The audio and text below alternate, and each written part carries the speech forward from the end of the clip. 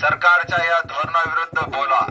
तुम्ही शांत राहिलात तर महागाई वाढवायला तुमची संमती आहे असाच अर्थ सरकार काढतं. ज्यांना निवडून दिलं त्यांचे कान पकडून जनहिताची कामे करून घ्या. अन्यथा निवडणुकीतून त्यांना बदलून टाका. महागाई हिंदू मुस्लिम भेदभाव करीत नाही. हिंदू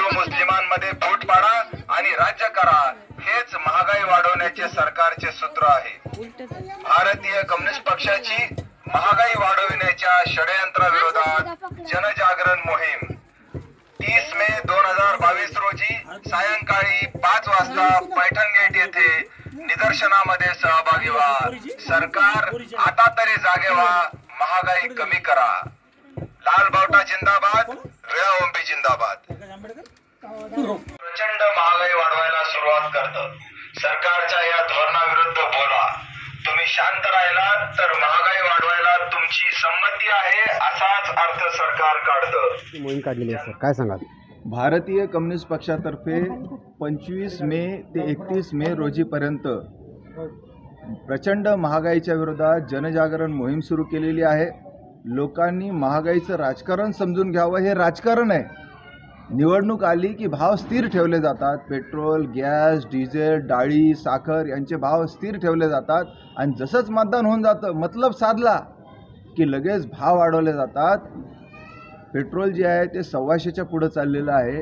डाळी जे आहे ते पंच्याहत्तरच्या पुढं चाललेल्या आहेत. आणि आता तेल एकशे पंच्याहत्तरच्या पुढं चाललेलं आहे. लोकांना जगावं की मरावं असा प्रश्न आहे. आर्थिक विवंचनेपायी लोक आत्महत्या करू लागलेले आहेत. लोक बोलत नाहीत महागाईच्या विरोधात आणि म्हणून भारतीय कम्युनिस्ट पक्षातर्फे पत्रकं वाटून आपण आम्ही घरोघर जात आहोत आणि लोकांना म्हणत आहोत तुम्ही बोला. महागाईबद्दल बोला. बोलल्याशिवाय काहीही होणार नाही. नाहीतर सरकार असं समजतं की लोकांना महागाई मंजूर आहे.